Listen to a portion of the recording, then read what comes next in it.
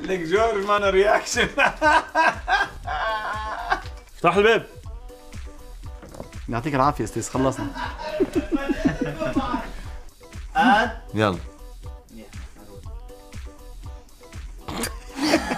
بتحديك تحطها. هو بس بيعتاد إنه هو اللي بيقوله هو اللي بيشوفه. وجهة نظره الوحيدة هي الصح وما في غيرها. كل الباقيين وكل الوجهات النظر وكل الأشياء التانية ما في. مش ما بيشوفهم حتى. يعني ما بيقطعوا بالاحتمالات اللي بتمرق براسه. يعني بس بشوف